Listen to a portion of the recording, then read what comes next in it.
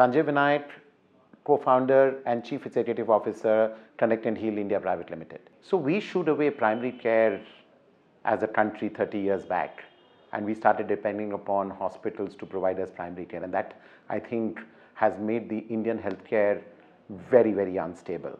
Um, but thanks to COVID uh, in March 2020, um, I think the only way out for the Indian population at large was to essentially um, resort to telemedicine uh, because that was the only access one had to your doctors. Most of the doctors were general physicians and they basically started coming back into your life as your first port of call when patients or customers were hit by COVID. I think for the last 10 or 12 years, we've seen India emerge as the startup capital of the world. Um, we've seen um, a whole range of entrepreneurs um, basically mushroom in every part of this country. Um, I think there was there was a phase where everybody was gunning for fintech. There was a phase when everybody was trying to solve multiple problems, be it e-commerce, quick delivery, etc., etc. Um, COVID brought in a whole set of entrepreneurs who wanted to solve healthcare problems, and I think that was a very, very um, welcome scenario, right? Because healthcare is COVID really brought in multiple problems which we all faced, um, and I think today we we have more than 200 startups, and everybody is trying to solve uh, multiple problems. Uh, Connect and Heal is essentially focused on bringing back the entire primary healthcare system for a household from pediatrics to geriatrics. Um, I think the government has essentially provided a lot of uh, good incentives um, in form of uh, in form of capital reliefs, tax reliefs for startups. Um, can they do more? Yes, absolutely. I think we need um, a very specific uh, uh, startup for a, a, a government sponsored startup cell to promote innovation in healthcare because I think that's that's needed the most. I think one of the major challenges uh, I faced as an entrepreneur in health tech is basically the lack of thesis which investors have in healthcare. Um, while I don't completely blame them for the simple reason that um, healthcare is challenging, making money in healthcare in a country where, uh, for example, primary healthcare is just about taking shape. Uh, what is the right business model? Um, and, and many more challenges. And at the end of the day, um, I don't blame VCs because they are also basically caretakers of and, and are responsible for giving returns to the to their investors. So how can government play a very important role? I think government has clearly demonstrated by setting up the NIIF as a fund of funds, right? I think it's high time that we divert a certain part or a certain um, uh, capital allocation be made by NIIF towards only healthcare because I think that's extremely needed to kick off this much needed investment in healthcare. Um, while most of the health tech startups are basically trying to best solve multiple problems, where each one of them is going to face challenge is lack of capital. And therefore, the government now needs to step in and give that much needed capital to the entire health tech industry. So I think general physician is fundamental to any healthcare ecosystem. Let's look at our country, India.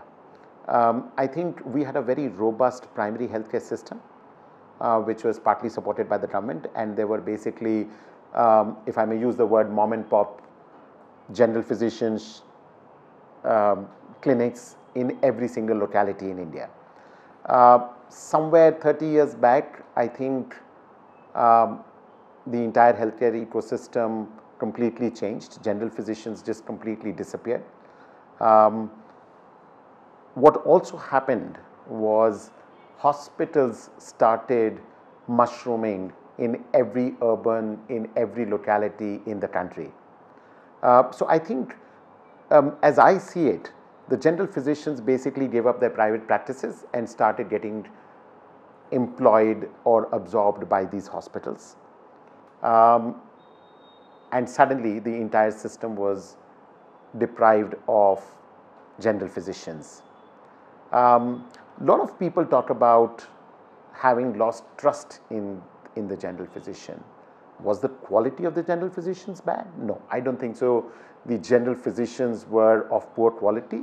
I think the lack or the ability to access these general physicians basically was the key reason why the trust was lost. Uh, let's just very quickly move forward. 30 years later, COVID happens and brings back that general physician in the forefront.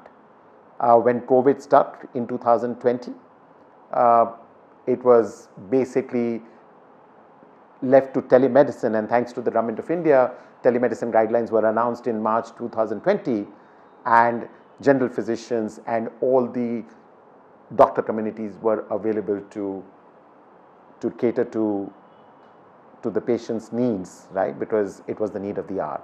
Um, technology suddenly came into play into healthcare, right.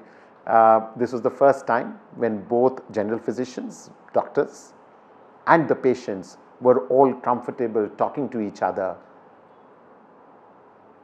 on online. Connect Heal was formed in 2016 and this was basically something which um, I became very interested um, when I was doing a project for Johns Hopkins um, as, as, a, um, as a banker we were trying to do project finance for Johns Hopkins Hospital which was setting up a teaching hospital um, in Malaysia and that's basically where uh, we realized that primary healthcare is an extremely important part of any healthcare system in any country. Um, when I look back into my own country, India, I realized that we had shooed away primary healthcare 30 years back and that was something which basically got stuck in my head. Um, so I decided to move out of my comfort zone and start Connect and Heal essentially to bring back the good old family doctor back into every single household. Connect and Heal is basically an integrated one stop shop for your entire primary and preventive healthcare needs.